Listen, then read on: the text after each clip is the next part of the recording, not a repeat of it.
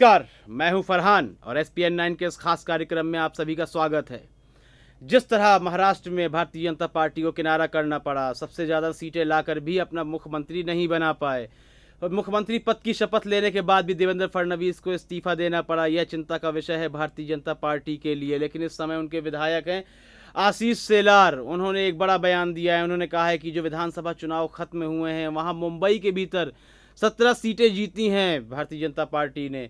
अब जो आने वाले मौजूदा निकाय चुनाव जो आ रहे हैं, वहाँ भी भारतीय जनता पार्टी सर्वाधिक सीटें जीतकर रिकॉर्ड बनाएगी और शिवसेना को पीछे करेगी, विरोधी दलों को परास्त करेगी। यह बदला लेने की तैयारी बना ली है भारतीय जनता पार्टी ने शिवसेना से। अब जिस तरह उनको हार का सामना करना पड़ा, भले ही उनके पास सबसे ज़्यादा सीटें थीं लेकिन उस हार को पचा नहीं पा रही है भारतीय जनता पार्टी। उन्होंने रणनीति बनाना शुरू कर दी है और अब वह आने वाले मुंबई के निकाय चुनावों में भी जीत दर्ज करने के लिए उन्होंने कमर कस ली है और निकल पड़े हैं आशीष सेलार के। का यह बयान साबित करता है कि उन्होंने रणनीति में कोई कसर शायद नहीं छोड़ी है। हम आपको बता दें कि 2017 में जो चुनाव हुए थे, वहाँ अकेले लड़ी थी भारतीय जनता पार्टी। तो वहाँ शिवसेना ने चौरा, चौरासी सीटें जीती थी। वहीं भारतीय जनता पार्टी ने निकाय चुनाव में बयासी सीटों पर जीत दर्ज करी थी। बहुत ज़्यादा फासला नहीं है, बयासी और चौरासी में।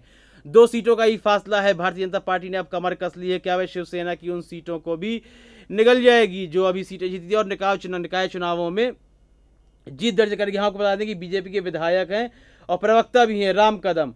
उन्होंने दावा किया है कि बीएमसी में अगला जो महापौर होगा बीएमसी में जो अगला महापौर होगा, वो भारतीय जनता पार्टी का ही होगा, ये दावा कर रहे हैं। लगातार दावे करती है भारतीय जनता पार्टी। इससे पहले भी अमित शाह ने भी दावा किया था कि मुख्यमंत्री पद की शपथ देवेंद्र फडणवीस ही लेंगे। फिर दावा किया जा रहा है कि अब की जो मेयर होगा बीएमसी चुनावों में वह होगा भारतीय जनता पार्टी का। शिवसेना का खौफ सही था, उनका डर सही था। जिस तरह शिवसेना से दो ही सीट कम थी पिछले चुनावों में, भारतीय जनता पार्टी तो यदि फिर अकेले लड़ती तो शायद कहीं ना कहीं शिवसेना की सीटों पर कब्जा कर लेती। लेकिन क्या मुख्यमंत्री बनने के बाद उद्धव ठाकरे अब अपनी रणनीति को बदल देंगे? जिस तरह चौरासी सीटें उन्होंने जीती, बयासी में भारतीय जनता पार्टी थी, क्या भारतीय जनता पार्टी को और भी बैकफुट में डालने की कोशिश करेंगे? उन्होंने भी रणनीति बनाना आरंभ कर दी है। बीएमसी चुनाव को लेकर फ़िलहाल अभी शिवसेना की तरफ़ से कोई भी किसी भी तरह का बयान नहीं आया है। यह बयान भारतीय जनता पार्टी की तरफ़ से आया है उन्होंने कहा है कि जिस तरह वह अभी विधानसभा चुनाव में उन्होंने मुंबई में उन्होंने कहा सत्रह सीटें दर्ज हासिल की थी उन्होंने, जो कि सबसे ज़्यादा सीटें थीं। बाकी उनसे पीछे ही थे। तो उस संबंध में उन्होंने कहा है कि मुंबई में उनकी पकड़ है। अब उन्होंने मुंबई की ज़मीन को काबिज कर लिया है। वह जिस तरह अभी कह रहे हैं, महापौर बीजेपी का ही होगा। इससे साफ़ स्पष्ट हो रहा है कि मुंबई की ज़मीन पर उन्हें पूरा यकीन है कि उन्होंने कब्जा कर लिया है और शिवसेना का भी जो डर था, वह भी सामने आ गया है।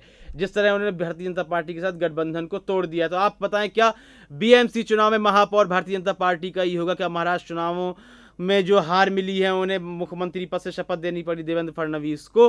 तो आपको क्या लगता है, उससे बौखलाई हुई है भारतीय जनता पार्टी उन्होंने संपूर्ण रणनीति अपनी बना ली है? इस संबंध में आप हमें अपनी राय देना बिल्कुल भी ना भूलें। कार्यक्रम पसंद आ रहा है तो इसे लाइक करें, ज़्यादा से ज़्यादा शेयर करें और चैनल को सब्सक्राइब करना बिल्कुल भी ना भूलें। जब तक के लिए इजाज़त चाहूँगा। नमस्कार।